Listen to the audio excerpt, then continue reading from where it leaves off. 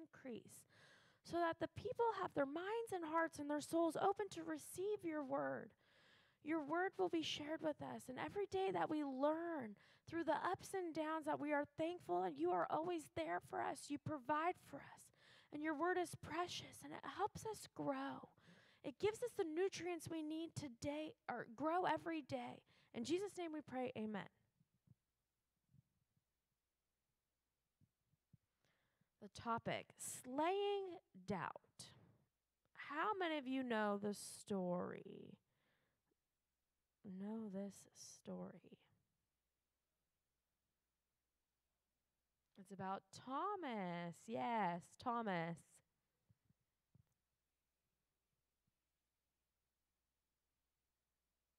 Where can you find this in the Bible? John chapter 20, verse 24 through 29. The doubter.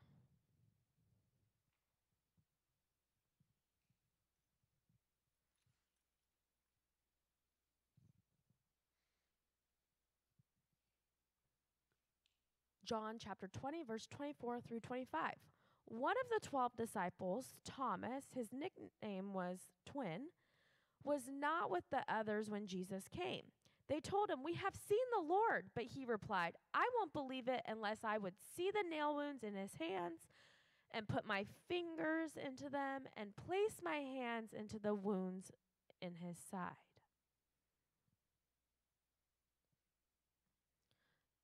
Thomas, you know, everyone's saying, like, oh, yeah, yeah, Jesus rose from the de- dead. You know, last week we talked about Easter. And the women, they saw Jesus and then he said, Go, share them, share the news. So they ran. And I'm sure the disciples, you know, they were sad and, and grieving, and, you know, he had died. What are we going to do now? Do we have to continue this? What do we do? What do we do? Jesus isn't here. And I'm sure this is going through their thoughts, right? What do we do? So, you know, they were already in this mindset. I guess we would have to go back to work and figure this out. And the women are saying, okay, Jesus is risen. And all 11 are saying, What? Really? This, this happened? He, ri- he rose from the dead? And they believed it. But Thomas, he said, He's like, you know, Jesus rose from the dead. Mm, I'm not too sure about that. We know, we know he died. But, you know, all the other ones believed instantly, and he was the only one that doubted. His nickname was Twin, as a Hebrew name. Thomas means twin in Hebrew.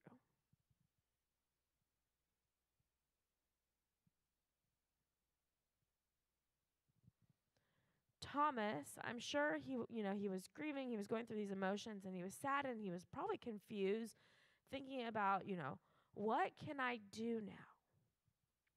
And now he's starting with his imagination and he's exaggerating and his mind is wandering and but Jesus has risen, right? And he's walking up.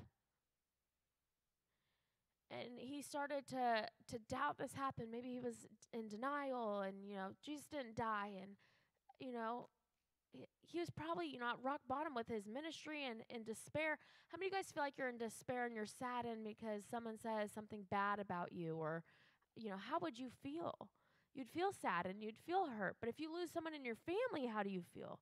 You're sad and you're grieving and you're, you sometimes you don't say is this true? Did they really die? Like it's hard to to grasp and, um, and believe right? When my grandfather died he died when i was pregnant with my daughter chloe. I was in a state of you know he died and i knew he died but i hadn't grieved myself. I didn't have the energy to all my thoughts and my emotions, you know, I'm like, I'm trying to figure out how, you know, maybe this is how Thomas felt. You know, if he rose from the dead, and my grandfather, I'd be thrilled. But, you know, Thomas was blessed with that to be able to see that, but I'm sure he was confused. And he, he started to distance himself from the disciples. Because you believe, oh, Jesus rose, but I, I'm not too sure myself you know, he's probably saying, You're a fool. Jesus is dead. All these thoughts going through his head. And as we read the Bible, we know Thomas did doubt. And he refused to believe it until he saw it himself. He wanted to see it for his own eyes. And sometimes, you know, when something happens and our friends say something, we're like, okay, it didn't happen unless I saw it, right? If I don't see it, it didn't happen. But we have to believe. Jesus died on the cross, and the disciples believed instantly that he rose from the dead. But sometimes in our lives, we have doubt. We doubt for different reasons. We're not sure, and we're saying, Did this actually happen? But we forget God is always there, He always provides. But we have to take out the doubt in our lives. Whatever, if we're grieving and we're heartbroken and whatever's going on, God is always with us. Thomas made this. He said, Okay, let me see it. And I'm sure the disciples were saying, Okay, yeah. And they're excited. They're like, Okay, you want to see the proof? That's fine. Here, Jesus, we'll get him. Jesus knew Thomas was going to doubt, but I'm sure they wanted to see the reaction from the disciples until Jesus walks up. I'm sure when Thomas saw this, right? He's probably confused, right? Shocked that this is Jesus and he's walking up. I'm sure he like touched his hand. Let me see. Let me see. Yeah, you're there? Okay, you've got your beard still? This is you? I can't see through you. I mean, I'm sure he was analyzing every part of him. You're Your life, your breathing. Do you remember my name? What's my name? I'm sure he's asking a bunch of questions. His mind was set on him dying, and that was it, but he had to change his thoughts. What happens next?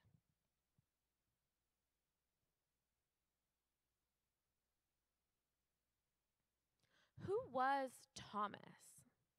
Let's talk about it. Okay, who was he? He doubted, right? One of the 12 disciples.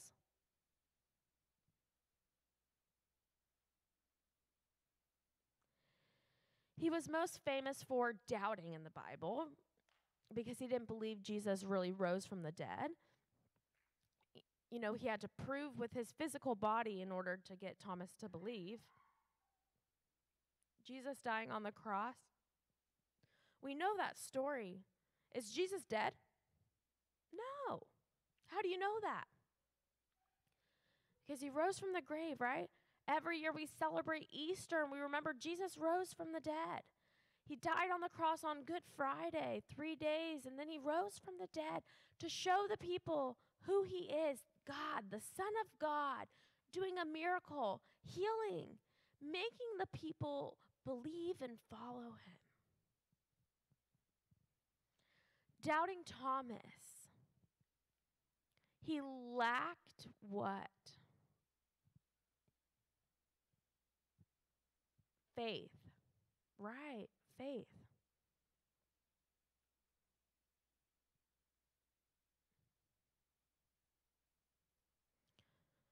When the time was coming close to Jesus dying,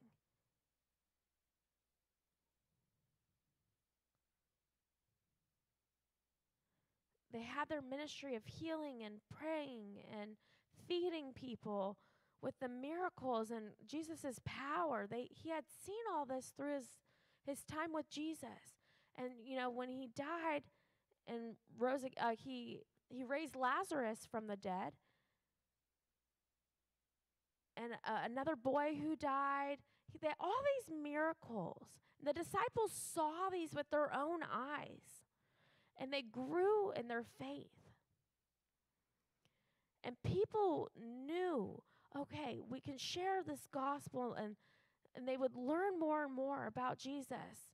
And then when Jesus left, the disciples eh, took that information and what Jesus had done and his ministry and they wanted to be like him.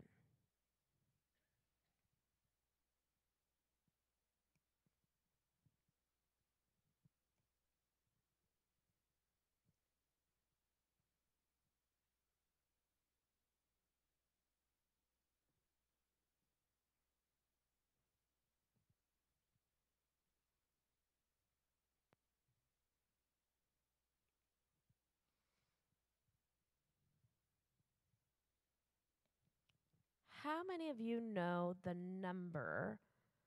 How many disciples, right? He picked 12.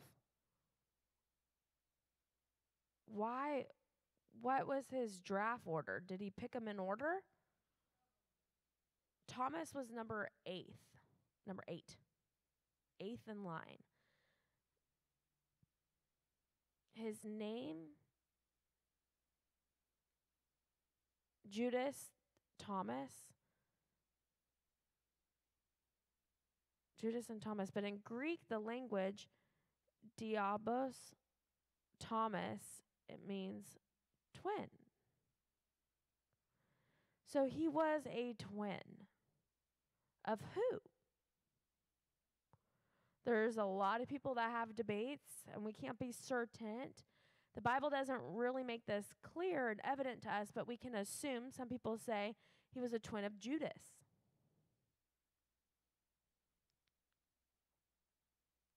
Or they say he was a twin of Jesus.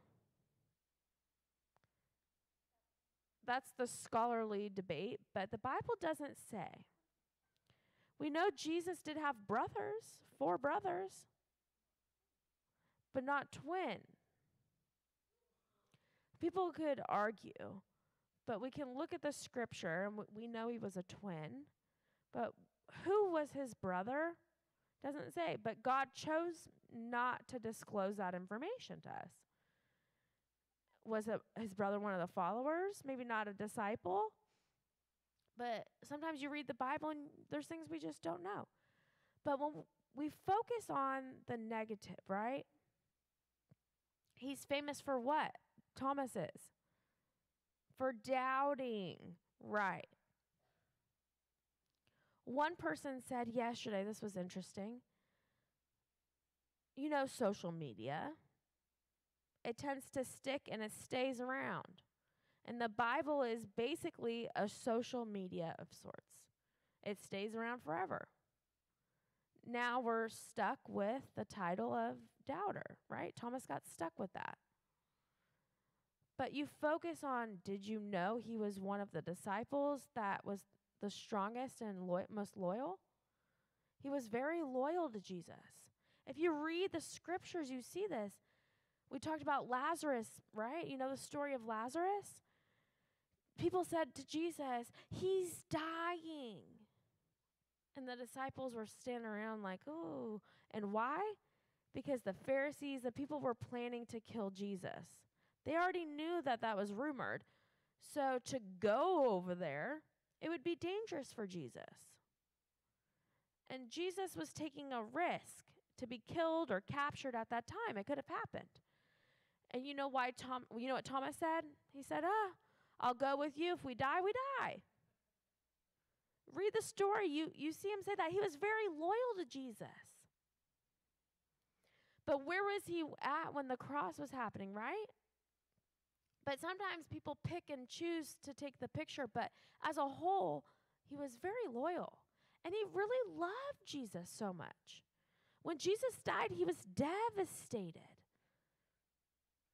Jesus said, Oh, you know, Jesus is risen from the dead. Oh, baloney. And I'm sure he really wished it was true, but he knew it wasn't going to happen unless he saw it with his own eyes. And I'm sure he was shocked and thrilled to see Jesus. Yeah, are you really alive, right? To feel in his side the, the scars and the piercing. But Thomas doubts, and that's a lot like us. When he doubts, we have a lot of doubt. D- doubting Thomases in our lives. You look at just this, but, you know, okay. Shame on you, Thomas. You're the one that doubted. But have you looked at yourself in the mirror? Shame on you. You've doubted, Joey. Shame on you, doubting Marissa. We are like Thomas in a lot of ways, honestly. When God showed, you know, the ministry, oh, like maybe you're going to have a, a new job in the future and this and that, and you're like, oh, is this really in store for me? I don't know. Wait, wait, I'm going to wait for it to happen and then I'll be searching it. Okay. Oh, then I've got the proof the first and second and third time and but all we have to do is say, okay, is this your plan? I trust in you that you'll take care of everything and provide. And sometimes we have to get rid of this doubt. I'm not sure. I'm not sure if I'm going to do this. I'm not sure if this is how it should go, right? Yeah, he did struggle with faith. Jesus died. And he said, I thought you were all these things, and maybe that was all talk. He didn't understand the full message of Jesus, of course. You know, sometimes we read it and we don't understand. And then we see it and we're like, oh, okay. Before I wasn't able to understand some of the verses, but then God had applied it, opened up my eyes, and now I'm able to understand things better. We are like Thomas. We doubt. Who was Thomas? The slide said basically it's me and you. You can say that yourself. It's me. We will go through doubt. We're kind of getting ahead of our preaching, but basically, Jesus still loved Thomas even though he was doubting Jesus. And you remember that Jesus loves you when you doubt as well. It's a human nature. We have flesh we will have doubts. We usually say, okay, you know, we, we see it until I'm not going to believe it until I see it. She'll say that to me. I, I, I doubt it. Let me see it. She says that. My kids say that, and they're like, let me see it. Oh, okay. Ice cream. They don't say that because they know I'll take them, but, or maybe it's like Santa, and they're like, okay. They're doubting, but Santa, yeah, I hope there's no one that's here that believes in Santa Claus still. Ho ho ho ho ho ho. He's he's here. Come on, don't. It's not me. Yes, but basically, I'm telling you, Santa does exist in a different kind of way. But that kind of thing. That's why I tell my kids. Right.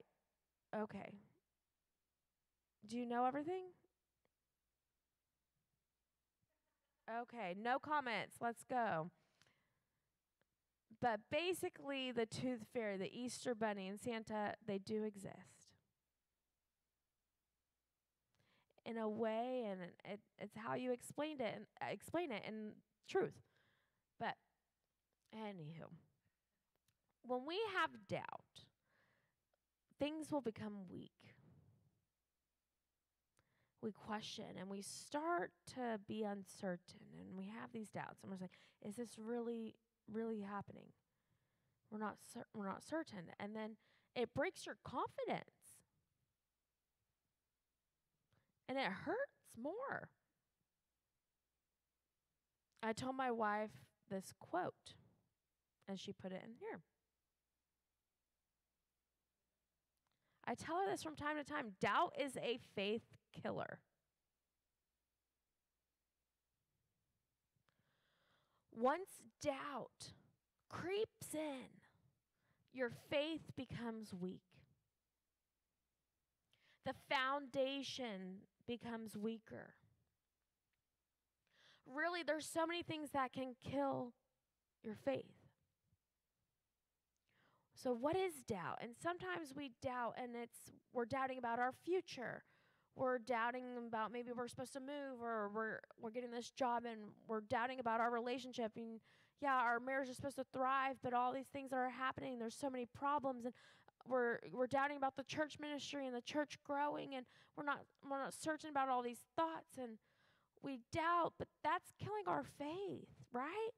If we're doubting all we're doing is you know all we need to do is you know, if I've lost my ministry and I've lost my faith and everything and I'm in despair, it brings you down more and more by doubting. Okay, I want to finish school. And then I get there and I'm not sure sure if I can pass this class cuz I have an F now and I don't know what to do and you have 3 months and you might have plenty of time to catch up, but now you're saying, "Oh, I can't do it. I'm not going to succeed."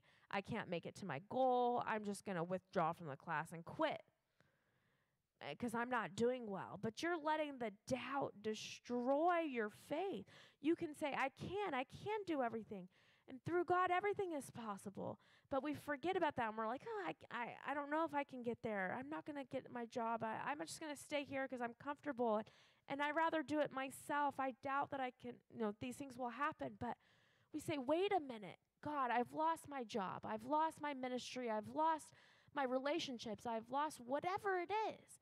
And God says, All of your problems, give them to me, and everything is possible through me. And our minds are limited. We say, We can't, we can't, we can't. And we doubt. And it brings us down. It brings us down. And that doubt will kill your faith, and your faith is going to diminish. And yeah, you have your faith and you're doing fine, and you hit one roadblock and one storm in your life. And Satan attacks, and he knows your weak points. And then you stumble, and then he attacks you again, and you're stumbling, and you're stumbling, and you think, Well, will I really succeed? Look at where I'm at now. It's impossible. I better just take a step back. No. Move on forward. Break through that to arrive to the finish the finish line. You want to increase your faith? Throw out your doubt. And we live in doubt sometimes every day with our lives and we doubt, oh, are we getting this new car? Or should we buy a used car? Or should we buy a house? Or should we get an apartment? We're not sure. But money, money, money, what are we going to do about the money? And God says, I will provide everything as possible. Just run to me, and He will take care of it. So we see things on earth and we say, oh, okay, we're going to doubt. But we can ask Jesus to come alongside us and help us. And sometimes we forget, you know, according to God's will, of course, God will provide.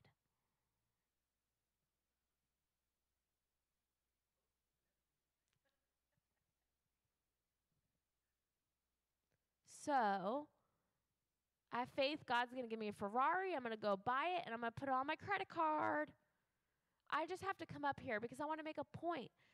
We oh God says, you know, I've called you to move, I've called you to buy, I've called you to do these things, right?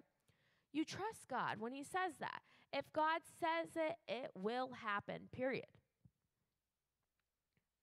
So we may doubt and, and that's tough, but why do we doubt? And how does that kill your faith? Okay, so for example, God says, I've called you to move to Missouri. We'll just use our own example, right? Missouri. And we said, if this is your will, we'll go. At that time, I had no job. it was funny because a long time ago we were like, oh, we're staying in California our whole lives. We're never moving. And, you know, if God tells us to move, we're not going to move. We were stubborn. That was our flesh. But we were looking around. We said, oh, Missouri is beautiful. And we finally surrendered. We're like, we're ready to move. And He told us to stay. But it was all right because that's what God wanted.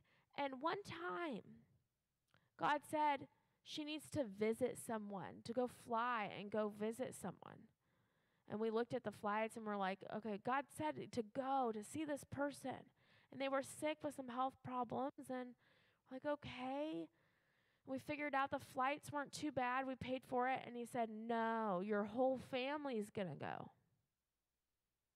And he clearly told us that. And we said, the whole family, we're, we're going to drive in a small Honda Civic. And we don't have money at that time. And we're like, how are we going to do this? And we said, Lord, if you're sure, like, I could just pay for a flight. We could afford one flight ticket, one plane, but the whole family to drive, the whole family to go, to stay longer than expected, and the food and the hotel. And we said, Okay, Lord, you said so. And I heard it clearly. You provide a way. And you know what happened the next day?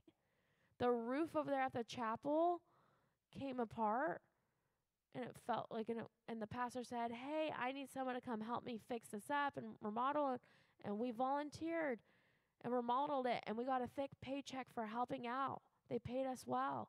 And the person said, God told me to, to buy this thing, for, a roof rack for the car.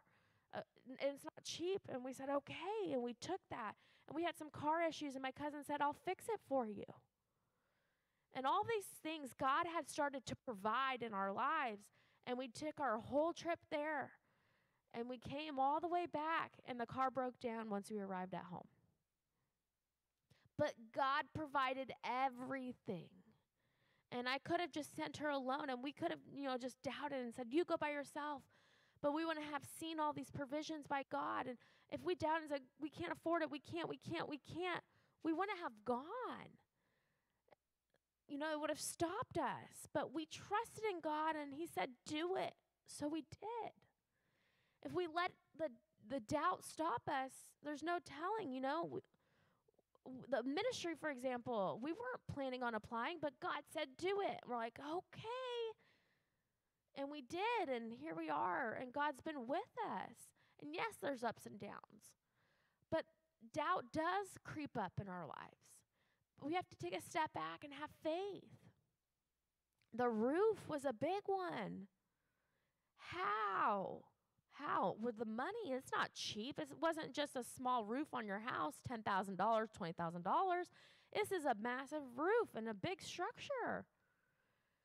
And we said, God, what do we do? And we trusted in Him. And then COVID happened. We were outside anyway. So we did okay. We were saying we could have said, "Oh, let's just shut down. We're gonna, we're we're not going to be able to make it." And it's not easy, and doubt can kill many things, including your faith, your relationships.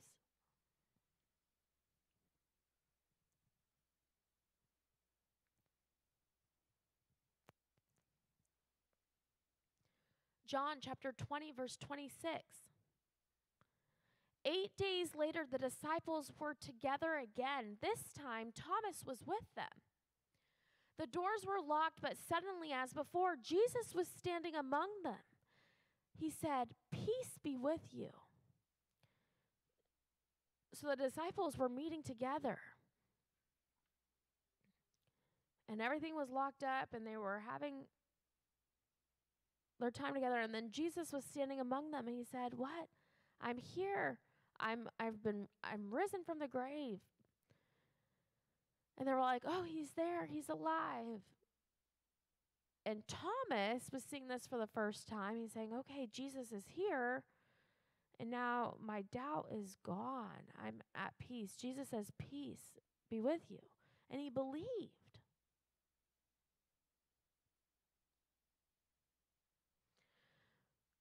John chapter 20 verse 27 then he said to thomas put your finger here. Look at my hands. Put your hand into the wound of my side. Don't be faithless any longer. Believe. He says i'm here. You can touch me. It's real life. I'm here. Believe. You know sometimes we doubt right? And sometimes okay we'll change it out. So if if you if you're Thomas and you see Jesus, would you be uncertain? You're like, I'm I'm not sure. I'm confused. Is he a ghost? Like wh- who is this person? We'd say the same thing. But he said, "Come here. Come here." And Thomas is like, "Should I go? Should I should I walk over there?" The disciples are like, "Go." And they already knew. And then Thomas is like, uh, uh, uh, "Okay." You know, a little scared, I'm sure oh, you know, John, you go first. You touch him first. Make sure he's really there. And they're like, yes, he's real. He's there. Let me hug him. You know, I'm sure we would have done the same thing.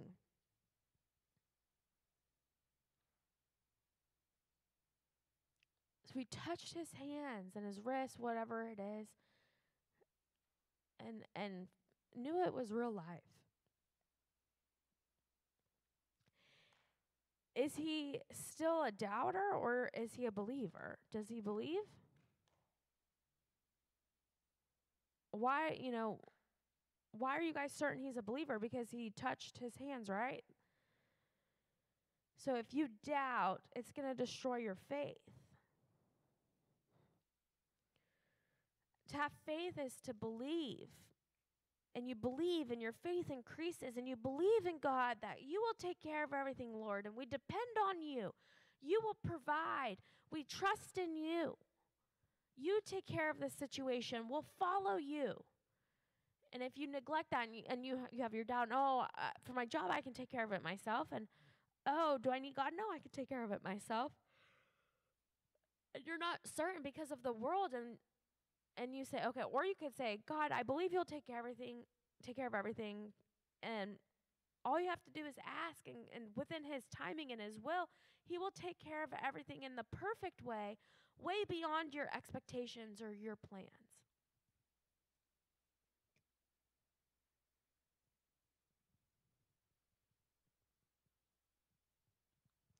John chapter 20, verse 28 through 29. My Lord, my God, Thomas exclaimed. Then Jesus told him, You believe because you have seen me. Blessed are those who believe without seeing me. So Thomas is on his knees. He's saying, I believe. Yes. And Jesus is saying, Yes, you believe.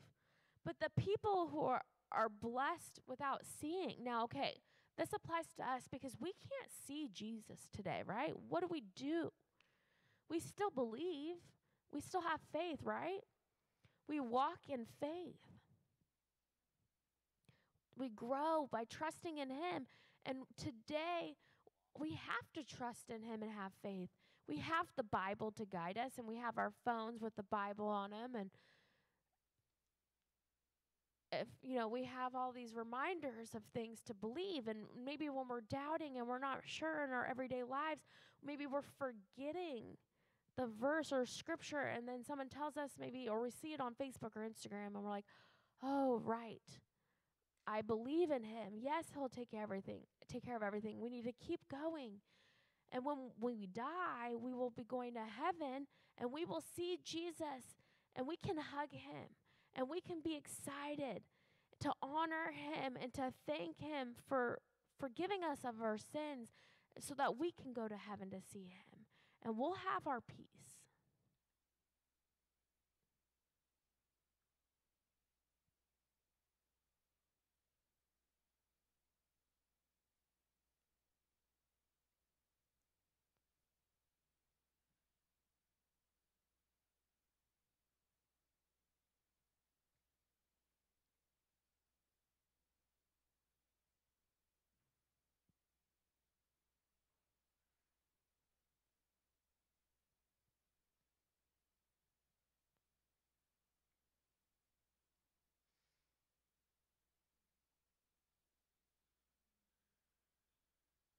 Thank you.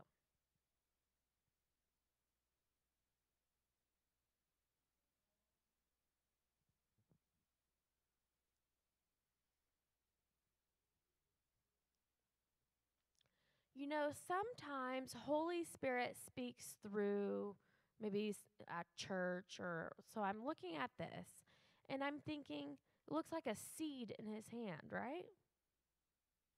What was I going to say? Okay. Do you know why we plant seeds? What happens? So that they can grow roots. And God says you are either planting doubt. If you plant seeds of doubt, you're going to have doubt. If you plant faith, you're going to have faith that grows. So that that hit me looking at that picture.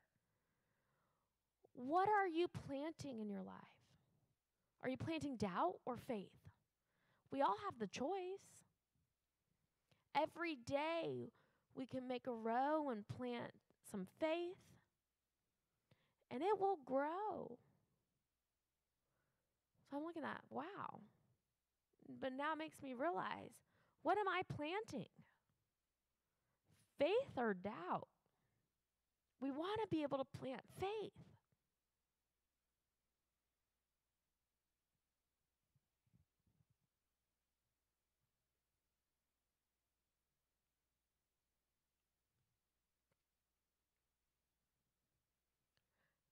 Thomas immediately says, I believe you. And he honored. I'm sure he's like, Yes, you are my Lord. You are my God. And how much he honored and respected God. And I'm sure he was telling him about how he feels. And, you know, I'm sure he's crying and he was so excited that Jesus was alive and he was thrilled to touch him and hug him and talk to him. And Jesus didn't say, "Oh, what's wrong with you? You you didn't believe, you doubted." He didn't say that. He hugged him and he showed him love. He knew that he was going to doubt ahead of time. He knew Judas was going to betray him, but he still loved both of them. And now Thomas, he's doubting and still loved him. Picked him up, I'm sure. You know, sometimes when when we're like, what's wrong with you? Are you serious? Why would you do that? But Jesus doesn't act like that.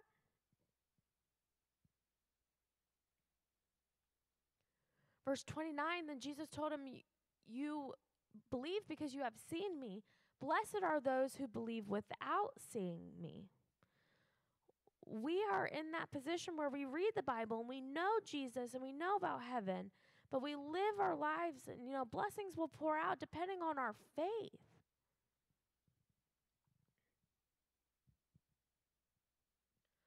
We understand Jesus and we depend on him and he's done many things. He's done miracles. He does heal. Um, he sh- he he fed people and he shared the gospel and we can see that in the bible and we want our faith to grow we want to walk in faith and how do we do that? We we we read the bible and we l- motivated to learn more. And we're all given different gifts. We all have different talents. And we need to get a take hold of that talent and we want to grow in our faith. And we serve the lord and we read our bible and He will provide blessings every day.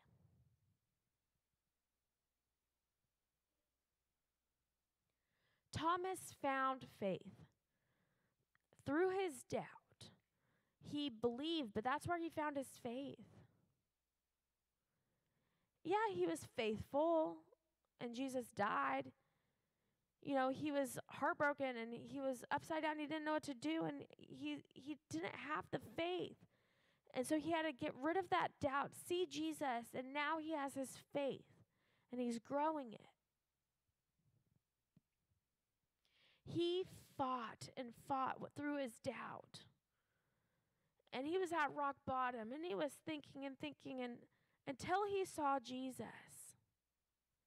Then he knew that Jesus didn't forsake him. He he was loyal to Jesus. He was faithful. He didn't say, Oh, Jesus doesn't love me because I doubted and he's rejected me. He ran to Jesus and Jesus hugged him back and knew he wasn't rejected because he doubted. And he showed him love, and his love is overflowing. He has so much love for us. And yes, we do have our struggles in our daily lives, and we do have doubt. But we have to take the step back and say, okay, why are we in this position of doubting? Throw it out and say, I'm sorry I doubted things. You show me what it is. I have faith in you. I want to walk, walk alongside you through the ups and the downs, through the valleys of life, rock bottom. He is there with you. And we say, Lord, yes, you take care of me. You take care of my doubt no matter what until we get there.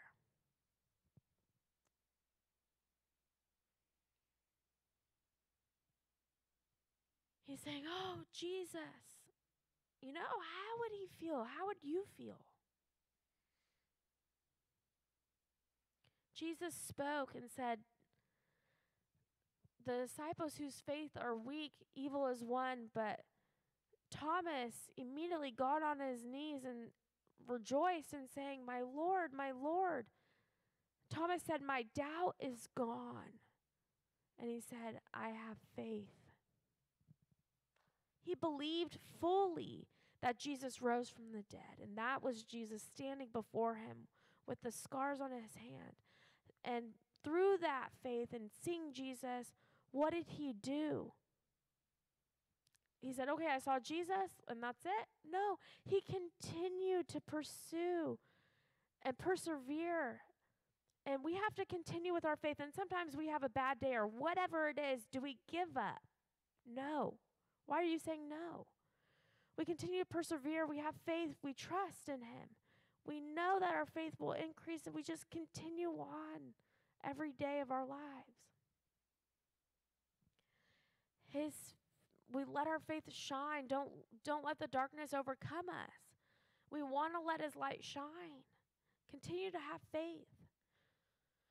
We live okay in two different worlds the light the world of light and dark right just like our daytime is light and at night it's dark we rely on this light and god is our light and at night in the darkness but there is light we have the moon he is always there 24 hours 7 days a week he is there The sun and the moon are there. They they're there.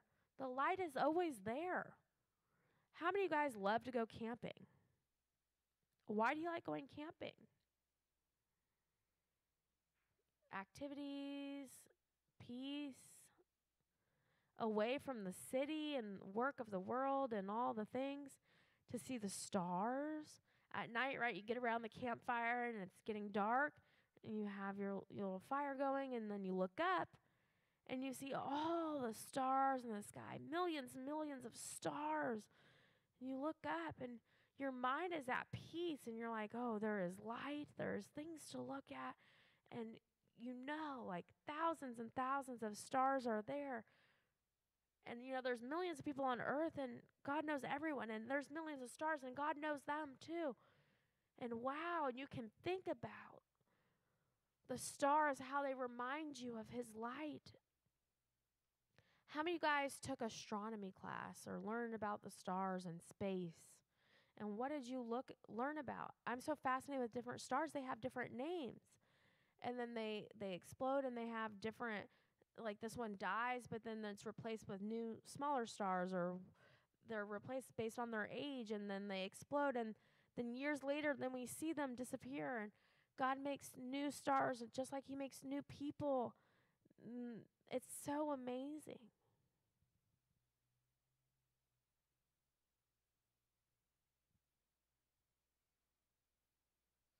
What do we demand? A voice, a vision, a revelation to prove our faith. So something is going to happen, right, in our lives, and we depend on seeing it to ha- know that it's, you know, happening, whatever it is. Is this God really changing my life? We want to see the proof.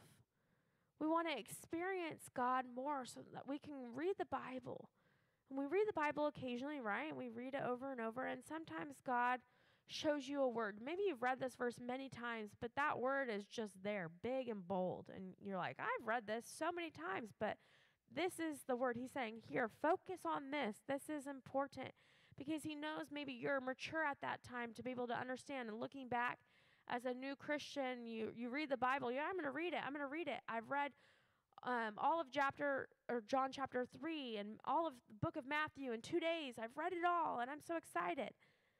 But as you get older and you've read a little bit more, chapter by chapter, and you focus maybe on just one passage, one paragraph, then things are more specific. And then you're impacted. And Maybe God knows you're ready to absorb that specific information at that time to grow, to continue to remind you as well. God, okay, to answer our prayers.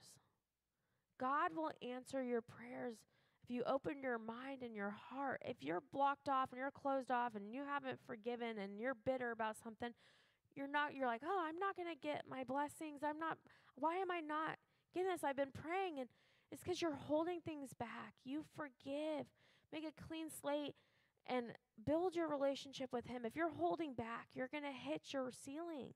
Do you want to get stuck? No. You want to, okay, so I'm going to forgive whatever I've done wrong. You analyze yourself and you pray. And you pray.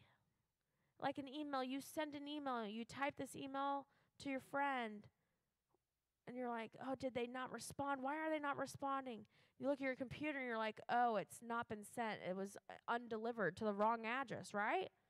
The same idea. We're sending these messages to God and they're not getting there, and we're like, oh, we're we're putting this wrong here or we're holding on to something in our heart. We have to, you know, restore everything, fix it up, and then send it on to God and he'll receive it and correspond with us. Support in our faith. Why does it say out? It's supposed to be our. Support in our faith. We have faith, right? But we have to ask for support. And when we're stumbling or we're weak, we can ask for our brothers and sisters in Christ. You know, maybe they'll say, Don't forget about this and continue to grow and experience God more. We, we learn through our church and our ministry and fellowshipping and reading the Bible and the pastors or whatever it is, maybe the ushers, whoever it is, to help you grow every day. Every morning, I always tell people, Wake up in the morning and say, What? Good morning, Lord. I'm ready for a new day. I have a meeting today and I have to go to work and I have to drop my kids off. But Lord, give me the strength to get up and do this with joy, to cook food for my kids, whatever it is, with a smile on my face. Put on the armor of God.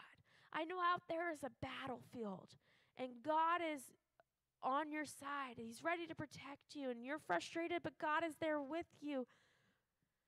And we see the breakthroughs with God, and then we can have more faith and faith and increase our faith.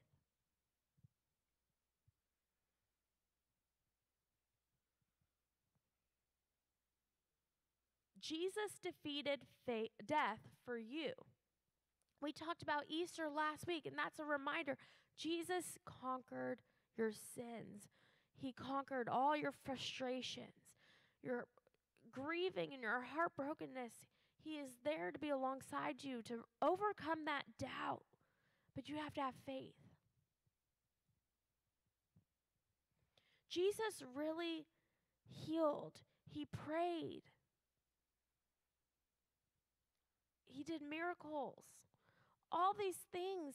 And the disciples were able to see what Jesus had done through his ministry. And when he died and rose again, he stayed on earth for 40 days and then he said, oh, I'll send the helper, Holy Spirit. And, you know, I'm, they're ready for his second coming. But we could be ready to, you know, to teach what Jesus has taught us. And they faithfully did the, this.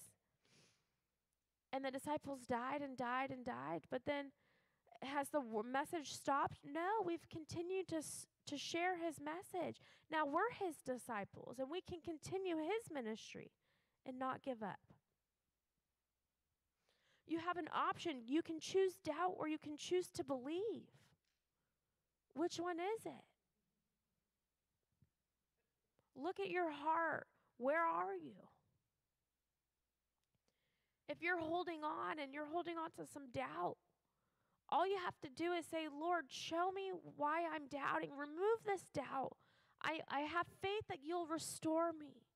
I'm holding on to this. I want to get rid of it. You take care of it. You provide. And you always take care of everything. You've promised to provide. And we know everything is possible. And maybe we doubt and our minds are limited. And I'm stuck here in this situation. But through you, we can grow and we can trust in you and we follow you and we serve you, Lord. And He will reveal Himself to you.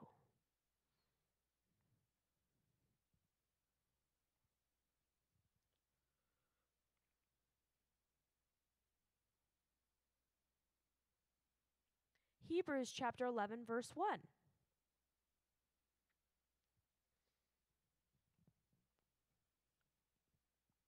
Faith shows the reality of what we hope for, it is the evidence of things we cannot see. 2,000 years ago, more than that, Jesus died on the cross, and we believe in him. Jesus rose from the dead and went to heaven, and we still believe because we have faith. I know some people, you know, there's dinosaurs on earth, right? Years and years ago. And all okay, so we had dinosaurs. And how many guys believe dinosaur dinosaurs existed, right? And why do you believe dinosaurs exist, right? Because science scientists and archaeologists have found fossils. So we know that they existed. People are like, "Oh, I've never seen a dinosaur." But yes, they're extinct now, and some people believe um, a star crashed on Earth and killed all the dinosaurs or meteor, whatever it is, or maybe from the flood or whatever reason. But there is evidence that dinosaurs existed at one point on the Earth because we have all the fossils all over the Earth. Here, other countries, archaeologists have found. Where can you see the bones, right? You go to a museum, they have fossils. LA County has one, Orange County, go around, you could see the dinosaur bones, and they're huge. It is amazing how they were able to keep these bones and preserve them so they don't fade away. It's amazing, right? Jesus is we have to have faith to believe in Jesus. Until we die, then we will see him again.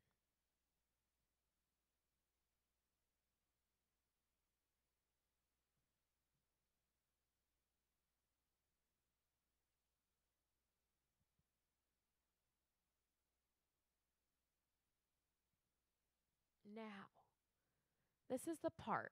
Thomas was a truth seeker.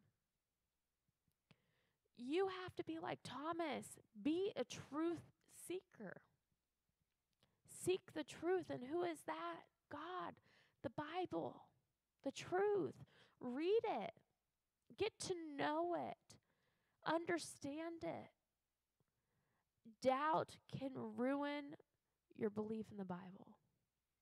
And that's what I'll be preaching about next week.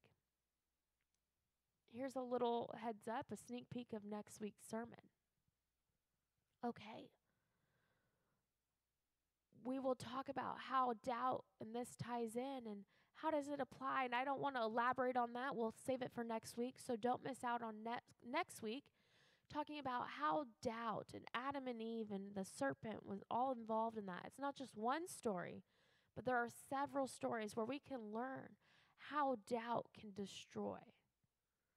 Earlier, I said the seed, the seeds that you plant, you can plant doubt or you can plant faith.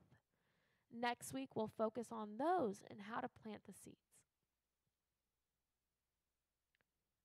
Jesus died for you.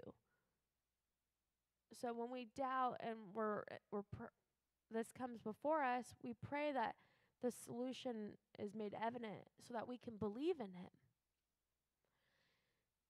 I guess I'll preach a little early. Satan wants you not to believe in death. He wants you to doubt death, the cross. Not there anymore. Satan wants you to doubt it. And that's we'll talk more about next week. Don't miss out. Let's close in prayer. Father in heaven, Lord, we thank you for your wonderful word that Marissa was able to share from you, Lord, about doubt and how we can focus on Thomas and his doubt and how it applies to us all. Because we doubt like Thomas. Help us to be like Thomas, to doubt, but turn to you and believe in you again and give us more faith to be stronger. I know we all go through doubt, and some of us are going through doubt right now. Yes, Lord, we know that.